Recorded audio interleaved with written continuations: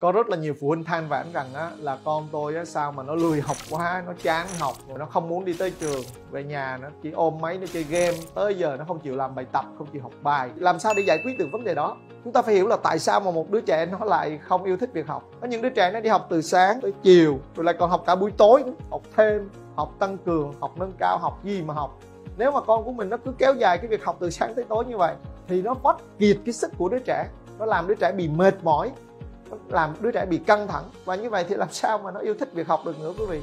Tôi cùng với hơn 400 thầy cô đã làm ra một cái giải pháp có tên là 5 phút thuộc bài. Và mỗi cái bài giảng lúc này nó chỉ còn có 5 đến 7 bài nào mà dài nhất là cũng chỉ có 15 phút thôi. Quý vị nghĩ coi, nếu mà mỗi ngày thay vì để cho con mình học một tiết 45 phút, bây giờ học một tiết còn có 15 phút thôi.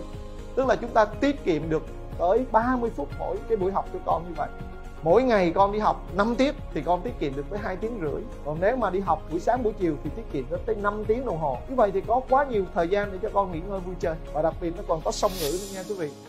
Nghe bài giảng bằng tiếng Anh, nghe bài giảng bằng tiếng Việt. Cái việc này nó giúp cho con của mình có thể rèn luyện được tiếng Anh trong tất cả các môn học, toán, văn, sử, địa, tiếng Anh được các kiểu. Chứ không phải là tới giờ học tiếng Anh mới được học tiếng Anh, quý vị ha.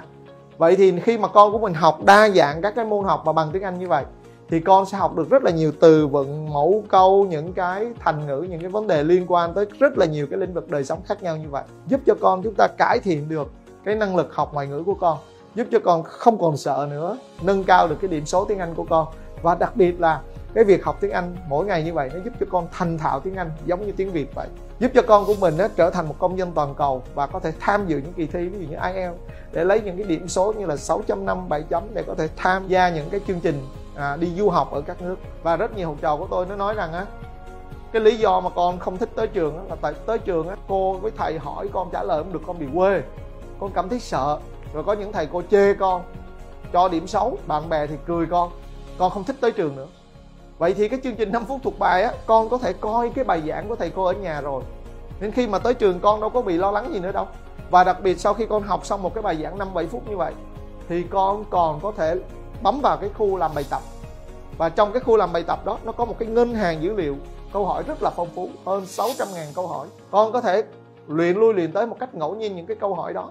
Và khi con đến trường, thì con đã biết hôm nay học cái gì và những cái bài tập ở trong cái chương trình học hôm nay con đều đã làm được rồi. Vậy thì con đâu có bị cái sự căng thẳng, lo lắng nữa đâu. Rất là nhiều học trò của tôi nó nói, từ khi học 5 phút thuộc bài, thì nó được rất là nhiều điểm cộng. Bởi vì cứ tới lớp cô hỏi là nó đưa tay, nó trả lời đó là thầy cô rất là yêu thích con. Cảm thấy là cái thành tích học tập của con được cải thiện. Cái trạng thái học tập của con rất là chủ động và sáng tạo năng nổ như vậy. Thì thầy cô có lời khen con mỗi ngày. Con rất là thích. Và được bạn bè ngưỡng mộ, yêu quý, con cũng rất là tự hào. Con cảm thấy cái việc tới trường lúc này là một cái gì đó rất là thú vị, rất là vui.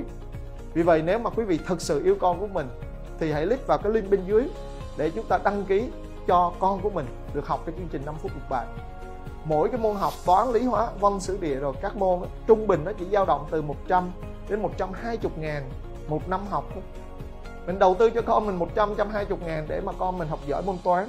Điều đó có nên không quý vị?